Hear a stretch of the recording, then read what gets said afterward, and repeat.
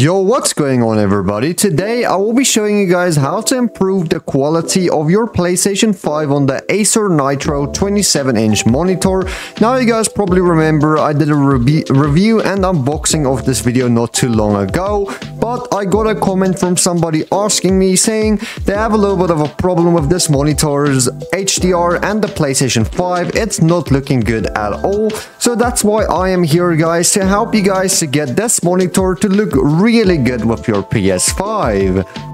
We're now going to take our PS5 controller and go over there to the PS5 settings. So as you guys can see, it's above there, the right side corner. Now you're gonna scroll down until you see screen. There will be screen and video setting over here.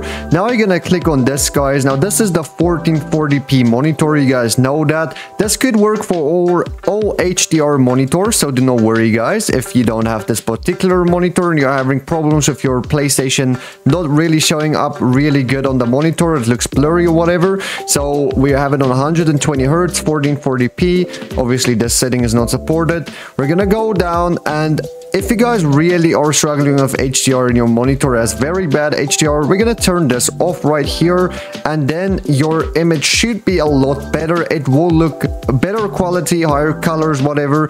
But we have a HDR monitor for a reason. That is very good quality. So why would we turn that off when we paid the very expensive price of having HDR.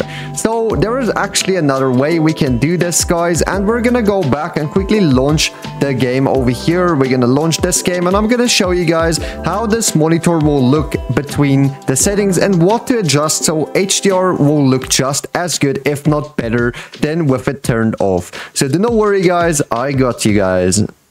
This is how the game looks with the HDR turned on but it's still looking really washed out, the colors are not accurate and it just looks very bad compared to a TV or if you turned HDR off.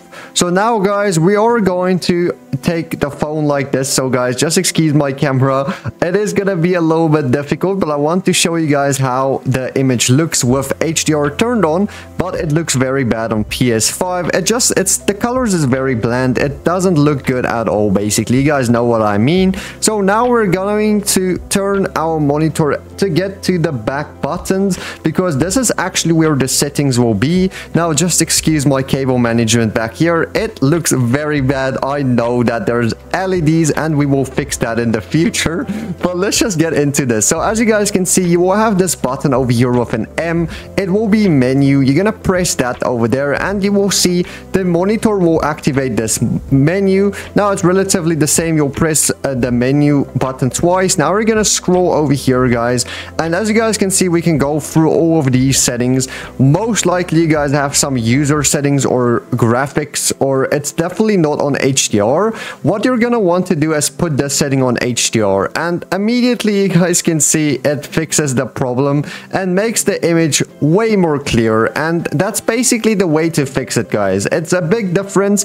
A lot of you guys have been struggling with this to kind of get the PS5 to look good but over here, you guys can see the setting changes everything. Most likely, you guys didn't have the setting enabled on your monitor, but you did have HDR enabled on your PS5. Well, do not worry. Now it looks really good. This is HDR content for you guys. This is why HDR is worth the price and I would recommend this monitor so definitely get it if you didn't already uh, I will link it in the description of this video like always I will always also link a PlayStation 5 in the description in case you guys don't have one of those.